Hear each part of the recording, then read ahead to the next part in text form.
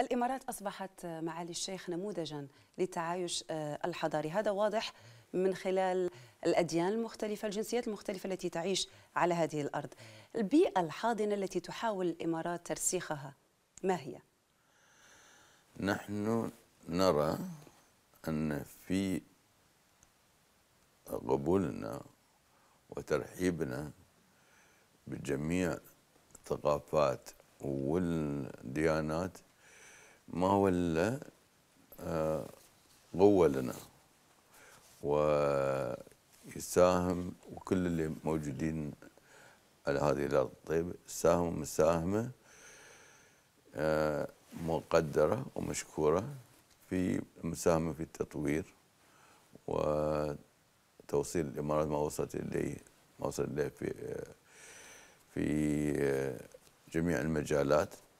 نعتز ونفتخر أن الإمارات حصلت على مراكز متقدمة في مجالات مختلفة اقتصادية سياسية آه، إنسانية. فهذا النسيج نسيج الذي يشكل آه، رسم جميلة آه، مثل الموزايك الجميل في ألوان مختلفة. وجماله في في آه، اختلاف ألوانه. فنحن نرى في هذا قوة لنا. في ترحيبنا وشكرنا وتقديرنا لكل من يقيم على هذه الأرض الطيبة. وفي سياق حديث معالي الشيخ نهيان بن مبارك النهيان لأخبار الآن تحدث عن جهود هذه الدعوة التي انطلقت من الإمارات وعن الذي ترسخه هذه الزيارة على صعيد محاربة الإرهاب مثمنا بصمات الإمارات الجلية في محاربة الإرهاب.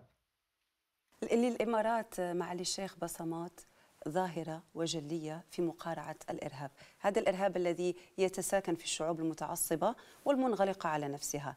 بهذه الخطوة بهذه الزيارة ما آه، الرسالة وماذا تريد الإمارات أن ترسخ تحديدا في آه، مجال محاربة الإرهاب؟ معروف عنا في الإمارات أن نحن لا نحاول أن نساير أو نحتضن الإرهاب أو من يدعم الإرهاب. فمواقفنا واضحة وصريحة أن لأن هذه آفة العصر ولأن هذا يهدد السلم. والتعايش السلمي بين الشعوب بين المعتقدات. مع أن الإرهاب ومن يدعم الإرهاب من يغف مع الإرهاب لا يفرق لا بين دين ولا بين حضارة ولا بين جنسية.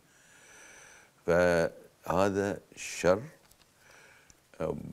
فيجب محاربة كل إنسان شريف كل بلد تريد تريد الخير لهذا العالم من عليه. يجب أن توقف آه، وقفة آه، حازمة نعم. وشجاعة ومواجهة كل تطرف بغض النظر عن مصدره ومنبعه أو من يدعمه